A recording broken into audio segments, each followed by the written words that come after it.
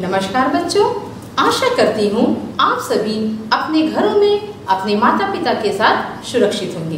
प्यारे बच्चों, आज मैं आपको हिंदी पाठ्य पुस्तक रिमझिम से कक्षा तीसरी का बारवा पाठ, जब मुझको सांप ने काटा, पढ़ाऊँगी। चलिए बच्चों, पाठ शुरू करते हैं। जब मुझको सांप ने काटा। बच्चों, आप तो जानते ही हो, सांप एक खतरनाक जीव है। यह कहानी इसी सांप पर और एक बच्चे पर है। चलिए मैं आपको यह कहानी सुनाती हूँ, जब मुझको सांप ने काटा। जब मुझको सांप ने काटा। एक दिन मैंने अपने अहाते में एक छोटा सा सांप रेंगते देखा। बच्चों, अहाते किसे कहते हैं? अहाते यानी आँगन। हमारे घर का जो बाहर जो खाली हिस्सा होता है, उसे हम अहाता कहते हैं, यानी आँगन।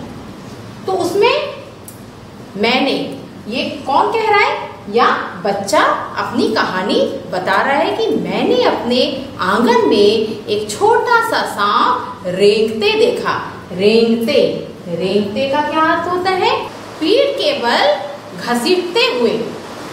वह धीरे धीरे रेंग रहा था। सांप कैसे रेंग रहा था? धीरे धीरे रेंग रहा था। मुझको देखते ही वह भागा और वहीं पर पड़े हुए नारियल के एक खोल में घुसकर छिप गया। जैसे ही सांप ने मुझे देखा तो वह सांप क्या किया? नारियल के खोल। देखिए बच्चों ये नारियल है ना, इसका जो बाहरी हिस्सा है, इसे कहेंगे खोल।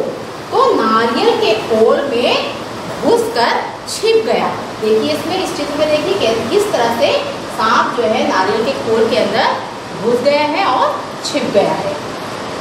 मैंने पत्थर का एक टुकड़ा खाया और उससे नारियल के खोल का मुँह बंद कर दिया। फिर उस बच्चे ने क्या किया? पत्थर का एक टुकड़ा उठाया और उसे लेकर नारियल का ये जो खोल है, उसका मुँह जो है, जो छेद है, उसको बंद कर दिया।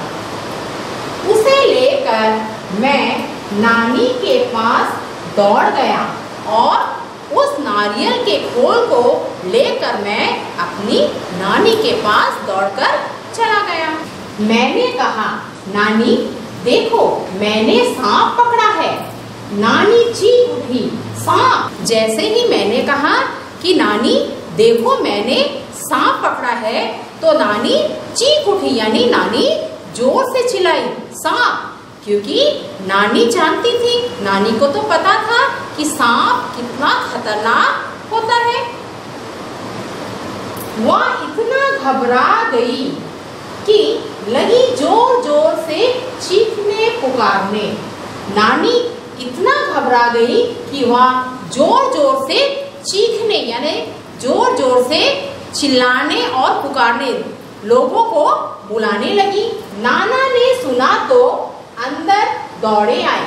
जैसे ही नाना ने नानी की चीख सुनी तो नाना अंदर दौड़ आए। जब उन्हें पता चला कि नारियल के खोल के अंदर सांप है तो उन्होंने मेरा हाथ से उसे छीन कर दूर फेंक दिया। और नाना जी को जैसे ही पता चला कि नारियल का खोल के अंदर में सांप है तो नाना जी ने मेरे हाथ से नारियल का खोल लिया और उसे बाहर फेंक दिया। नन्हा सांप, नन्हा यानी छोटा सा सांप बाहर निकल आया और रेंगता हुआ पास की झाड़ी में गायब हो गया। नन्हा सा रेंगता हुआ पीठ के बल सरकता हुआ पास के झाड़ी, जो छोटे छोटे पेड़ होते हैं ना, वो झाड़ी में गायब हो गया, यानी कि उस झाड़ी में घुस गया और दिखाई नहीं दिया। देखिए बच्चों, सांप किस तरह से रेंग रहा है, ऐसे सांप रेंग रहा है, इस तरह से रेंग रेंग के चल रहा था सांप नाना ने मुझसे कहा, खबरदार, यानी सावधान। फिर कभी सांप के पास मत जाना। और नाना ने मुझे सावधान किया कि दोबारा फिर कभी सांप के पास मत जाना। सांप बहुत खतरनाक होते हैं और नाना जी ने क्या बताया कि सांप जो है बहुत ही खतरनाक होते हैं। उनसे हमें खतरा होता है। वो हमें काट सकता है। उसी दिन शाम को मैं एक बर को पकड़ने की कोशिश कर रहा था। उसी दिन, जिस दिन उसने सांप को नारियल के खोल में बंद किया, उसी दिन वह बच्चा जो है बर को बर यानी जिसे हम ततैया भी कहते हैं, उसको पकड़ने की कोशिश कर रहा था। देखिए बच्चों ये है बर का चित्र। ये मधुमक्खी की ही तरह दिखाई देता है, इसे बर कहते हैं। इसे पकड़ने की कोशिश कर रहा था वह बच्चा कि उसने काट खाया और इस बर ने बच्चे को काट खाया, यानी काट दिया। बड़ी ज़ोर से दर्द उठा और जैसे ही बर ने उसे डंक मारा तो बच्चे को बहुत ज़ोर से उसमें दर्द हुआ। मुझे दर्द से करहाते मतलब जब हमें कुछ चीज़ काट देते तो हम दर्द से करहाते हैं ना, दर्द से मचलते हुए देखकर नानी ने सोचा कि मुझे सांप ने काट लिया है। तो लेकिन मुझे तो बर ने काटा था, लेकिन नानी ने क्या समझ लिया कि मुझे सांप ने काट लिया है। मैंने दौड़कर नानी को उंगली दिखाई। फिर मैंने क्या किया? दौड़कर अपनी उंगली नानी को दिखाई। उन्होंने जल्दी से नाना को पुकारा। फिर नानी ने क्या किया? जल्दी से नाना को पुकारा, यानी बुलाया। नाना तुरंत दौड़े आए। तुरंत मतलब जल्दी से दौड़कर नाना जी आ गए और मेरी उंगली को देखा और नाना जी ने मेरी उंगली को देखा। जहाँ बर ने यानी ततैया ने काटा था, वहाँ नीला निशान पड़ गया था। जहाँ पर ततैया ने, यानी बर ने काटा था, वहाँ पर नीला निशान पड़ गया था। वह मुझे गोद में उठाकर बाहर भागे। चट से, यानी जल्दी से, नाना जी ने मुझे अपने गोद में उठाकर भागा। बाग और धान के खेतों को पार करके भागते भागते वह अपने घर से दूर एक छोटी सी झोपड़ी के सामने जाकर रुके कहा से? बाग और धान के खेतों के बीच में से भागते हुए मुझे अपनी गोद में उठाकर भागते हुए कहा जाकर? एक छोटी सी झोपड़ी, घास फूस का बना हुआ एक छोटा सा घर के पास जाकर वह रुका। वहाँ पहुँचते ही उन्होंने आवाज़ लगाई। जैसे ही नाना जी उस झोपड़ी के पास पहुँचे, वहाँ पर आवाज़ लगाई। एक बूढ़ा आदमी बाहर निकला और नाना जी ने जब आवाज़ लगाई तो कौन निकला? एक बूढ़ा आदमी बाहर निकला। वह सांप के काटने का मंत्र जानता था। मंत्र यानी जो पूजा पाठ में या करने के टाइम जो पढ़ते हैं ना, एक प्रकार एक प्रकार की पूजा होती है। उन्होंने मंत्र जो जानता था, उसके पास मेरे नाना जी पहुँच गए। नाना ने उससे कहा, इस बच्चे को सांप ने काट लिया है। और नाना जी ने उस बूढ़े आदमी को बताया कि मेरे जो बच्चे को सांप ने काट दिया है, इसकी झाड़ फूक कर दो। और उस बूढ़े आदमी से नाना जी ने झाड़ फूक करने के लिए कहा, बूढ़ा मुझे झोपड़ी में ले गया। फिर उस बूढ़े व्यक्ति ने मुझे कहाँ लेकर गया? उस झोपड़ी के अंदर लेकर गया। उसने मेरी उंगली देखी और बोला, चुपचाप बैठो। जैसे ही उस बूढ़े व्यक्ति ने मेरा उंगली देखा और क्या कहा, चुपचाप बैठो। हिलना डुलना मत और हिलने डुलने से मना कर दिया। फिर पीतल के बर्तन में पानी लाया और मेरे सामने बैठकर मंत्र पढ़ने लगा। फिर क्या किया? उस बूढ़े व्यक्ति ने पीतल की एक थाली देखिए बच्चों, ये है पीतल का थाली। पीतल के बर्तन, पीतल के बर्तन को लाया और मेरे सामने बैठकर मंत्र पढ़ना शुरू कर दिया। मैं चाहता तो बहुत था कि उस बूढ़े को बता दूँ कि मुझे सांप ने नहीं, बर्फ़ ने काटा है। मुझे तो मन कर रहा था कि मैं उस बूढ़े आदमी को बता दूँ कि मुझे सांप ने नहीं काटा है, मुझे तो बर ने काटा है। पर मेरे नाना मुझे कस कर पकड़े रहे, लेकिन जो मेरे नाना है, उसने मुझे कस कर, यानी ज़ोर से दबा कर पकड़ा हुआ था। और मुझे बोलने ही नहीं दिया। और नाना जी ने मुझे कुछ बोलने ही नहीं दिया।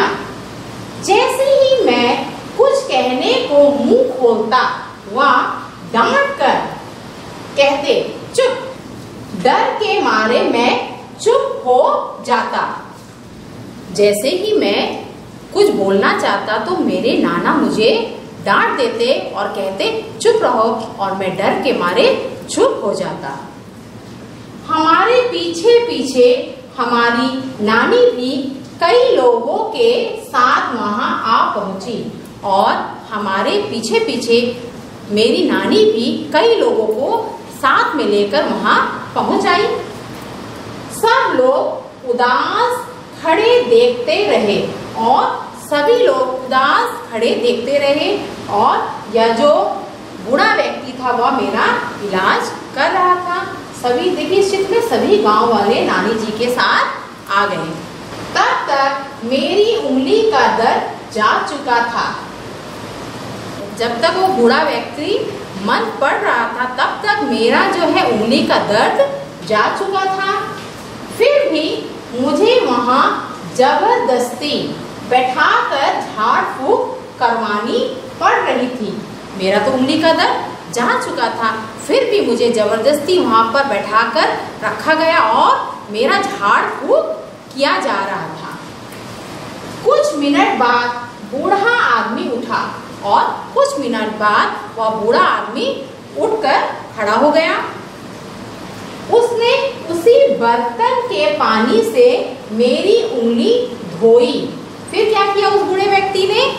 उस जो बर्तन में पानी रखा था, उससे मेरी उंगली को धोई और मुझे पिलाया भी। और उस बूढ़े व्यक्ति ने उंगली धोने के बाद उस पानी को मुझे पिला भी दिया। उसने मुझे बोलने से मना कर दिया ताकि दवा का पूरा असर हो। और उस बूढ़े व्यक्ति ने मुझे बोलने से मना कर दिया ताकि जो दवाई उसने मुझे दी, उसका पूरा असर हो सके। फिर वह नाना से बोला। फिर वह बूढ़ा व्यक्ति नाना से बोला, क्या बोला? अब बच्चा खतरे से बाहर है। क्या कहा? अब बच्चा खतरे से बाहर है। इसका मतलब है अब बच्चे को कोई खतरा नहीं है। अच्छा हुआ समय रहते मेरे पास ले आए। बड़े जहरीले सांप ने काटा था।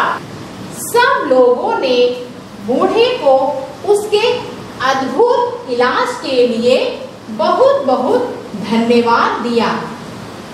सभी लोगों ने उस बूढ़े व्यक्ति को उसके अद्भुत अद्भुत यानी अनोखा इलाज के लिए बहुत बहुत धन्यवाद दिया, यानी उसका शुक्रिया किया कि तुमने अपने इलाज से मेरे बच्चे की जान बचा दी है।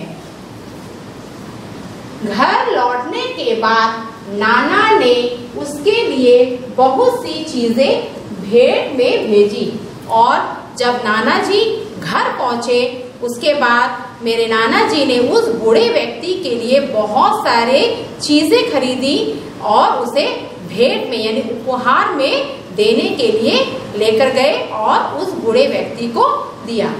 तो बच्चों, इस कहानी के जो लेखक है, उनका नाम है शंकर। इस कहानी को लिखने वाले का नाम क्या है? शंकर। तो बच्चों, इस कहानी से हमें क्या सीख मिलती है? कि हमें अंधविश्वास नहीं होना चाहिए। अगर किसी को अगर सांप काटता है तो हमें कहाँ जाना चाहिए? इलाज कराने के लिए अस्पताल जाना चाहिए। बेकार के ये जो अंधविश्वास में नहीं पड़ना चाहिए। तो चलिए बच्चों, अब मैं आपको पाठ में आए कठिन शब्दों का अर्थ बताती हूँ। शब्द अर्थ रेंगते। रेंगते का क्या अर्थ होता है? ज़मीन पर घसीटते हुए, यानी ज़मीन पर घसीट घसीट के चलते हुए। नन्हा। नन्हा का क्या अर्थ है? छोटा सा नन्हा सा बोलते ना, नन्हा सा बच्चा, नन्हा पौधा, छोटा सा। खबरदार खबरदार का अर्थ क्या होता है? सावधान। बर बर किसे कहते हैं? ततैया को। झोपड़ी झोपड़ी किसे कहेंगे हम? घास फूस का घर, जो घास फूस, घास से बना हुआ जो कच्चा घर होगा, उसे हम कहेंगे झोपड़ी। उदास। उदास का अर्थ क्या होता है? दुखी। उदास का अर्थ होता है दुखी। जहरीले। जहरीले मतलब जिसमें बहुत जहर हो। जैसे सांप, बिच्छू, इन सब में बहुत जहर भरा हुआ होता है ना? जहरीले का अर्थ है जिसमें बहुत जहर हो। अद्भुत। अद्भुत का अर्थ होता है अनोखा। आहते। आहते किसे कहेंगे? आँगन। घर का जो बाहरी हिस्सा होता है ना, जो घर है, घर के सामने जो खुला हुआ हिस्सा होता है, उसे हम क्या कहेंगे? आहाते कहेंगे क्या तुम जानते हो? बच्चों, अब मैं आपको सांप के बारे में कुछ विशेष बातें बताऊँगी। कुछ विशेष जानकारी आपको दूँगी। सांप अपना भोजन चबाते नहीं है, वे भोजन निगलते हैं। बच्चों, सांप जो होते हैं, वे अपने जो भोजन को चबाकर नहीं खाते, वे भोजन को सीधे निगल लेते हैं। सांप कभी बढ़ना बंद नहीं करते और सांप जो होते हैं, वो हमेशा बढ़ते ही रहते हैं। वो बढ़ना कभी भी नहीं रोकते हैं। उनका बढ़ना कभी भी नहीं रुकता है। सांप नाक से नहीं सुनते। सबसे विशेष बात क्या है? सांप जो है, सुनने के लिए नाक का प्रयोग नहीं करते हैं।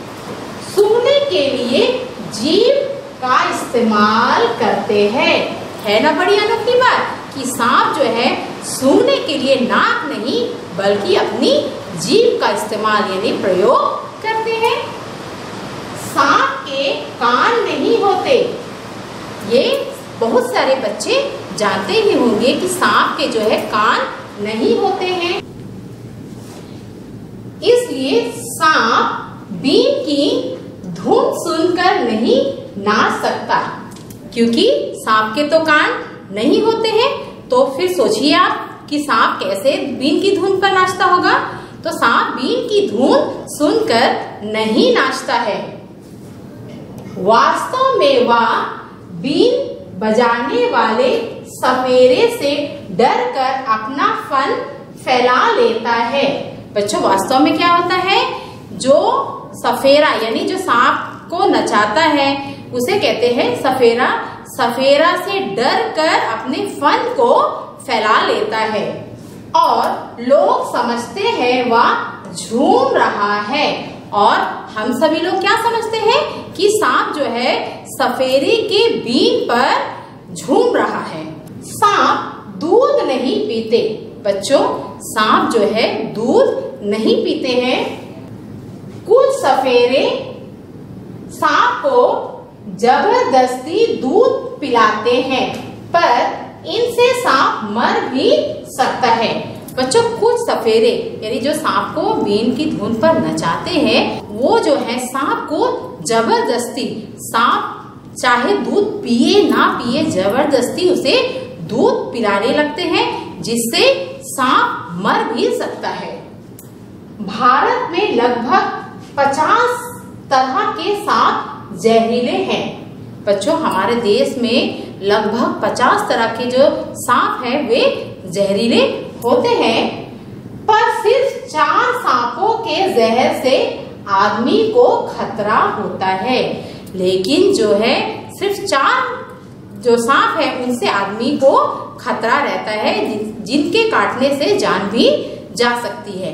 बच्चों, आप सभी ने तो सांप देखा ही होगा, है ना? तो चलिए बच्चों, एक बार फिर से हम जाने कि हमने सांप के बारे में क्या क्या जाना। चलिए मैं आपको फिर से समझाती हूँ।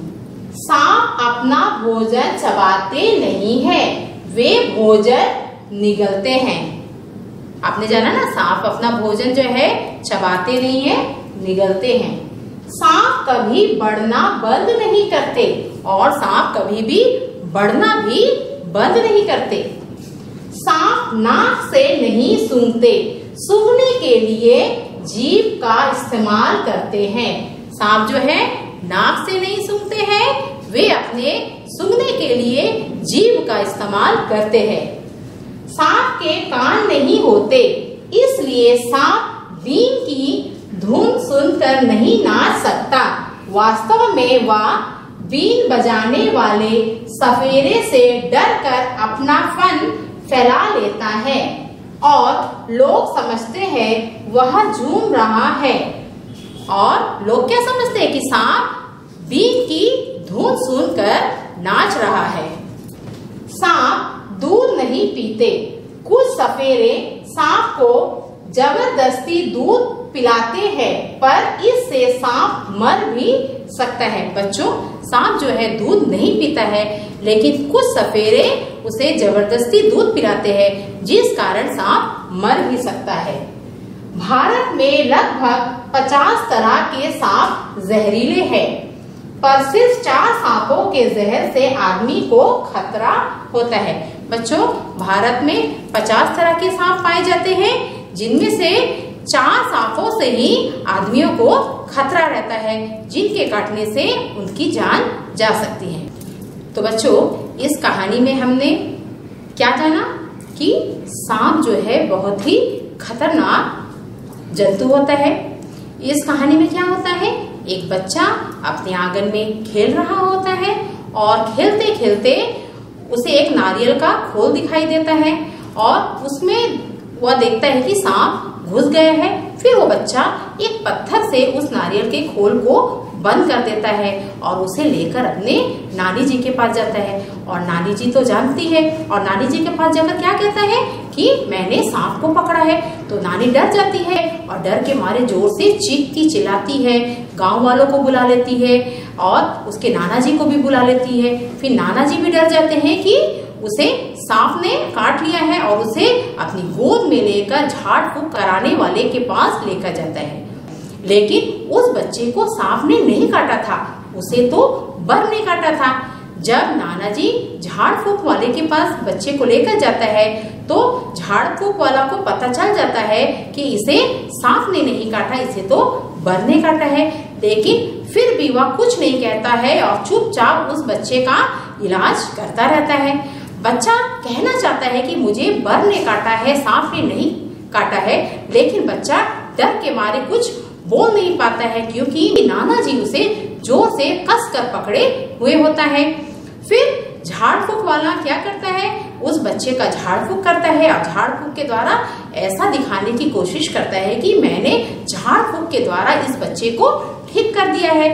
और फिर नाना जी खुश होकर उस जो झाड़ फूक वाले को बहुत सारे चीज़ें उपहार में भेंट करता है। तो बच्चों, इसी के साथ हमारा यह पाठ जब मुझको सांप ने काटा, यहीं पर समाप्त होता है।